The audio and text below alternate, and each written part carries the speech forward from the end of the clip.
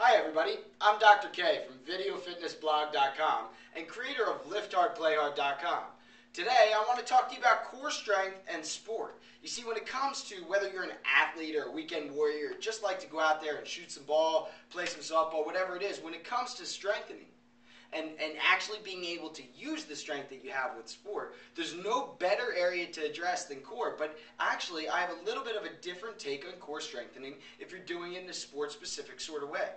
You see, when you're doing core strengthening for sport specific movements, it's important that you not only choose unstable surfaces, it's important that you not only choose single leg stance, it's important that you not only choose things where your trunk comes first and when that gives out, the exercise is over, but also tempo training.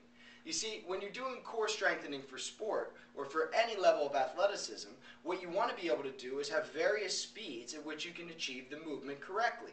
Because in sport, many times it's that quick reaction time, right? Whether it's golf, whether it's tennis, whether it's baseball, whether or not it's any sport you can think of, even in swimming, diving off the block, anything you can think of, reaction time comes in.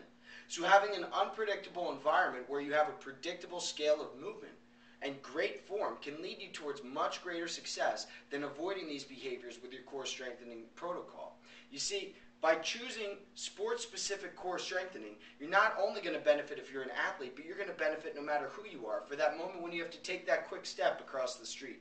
By tempo training or training in a way that benefits the athlete, everybody wins. So this is another phenomenal area of core strengthening to consider. And I want you to really pay attention to the fact that not only are you going to have various heights, angles, positions, but also various speeds, as would be needed in many real life movements and always exhibited by athletes. So thanks so much for joining me. I'm Dr. K, and I'm really happy to be here with you.